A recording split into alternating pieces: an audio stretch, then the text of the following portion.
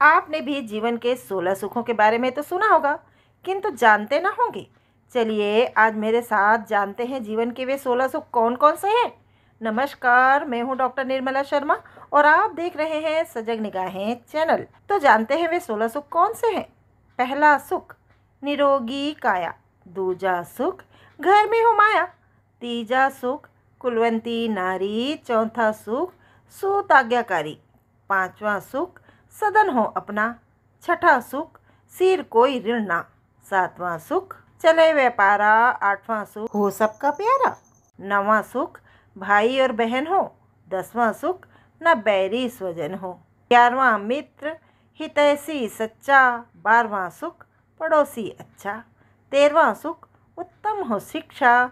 चौदहवा सुख, सदगुरु से दीक्षा।